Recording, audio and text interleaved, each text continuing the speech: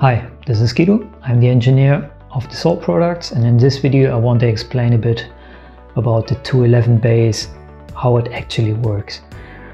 So here we have the 211 base and it is actually a mixture of a 1 bolt and a 2 bolt mast base system. And to get better to it I will explain first what is the 1 bolt and the 2 bolt mast base system.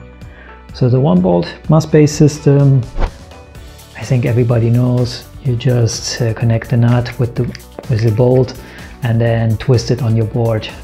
Depending on how much force you use, um, the, the base system sticks to your mast track and sometimes you need some tools to release it or you don't put enough force to it and then it can get loose and even leave your mast track and you can lose your sail.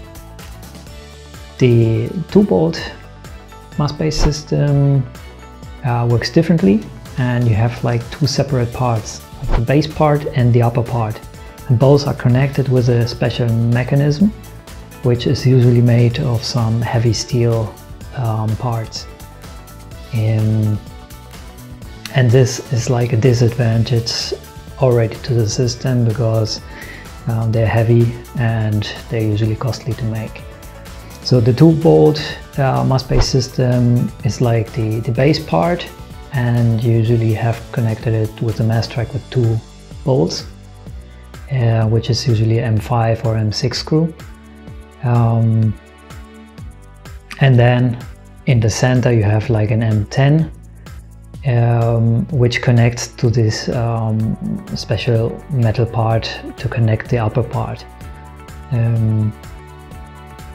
As you can hear, this is like more complicated uh, construction and it weighs more and it costs more. And this is like the 2 bolt mast base system. And the 211 base works by combining the best of both systems and eliminating the disadvantages.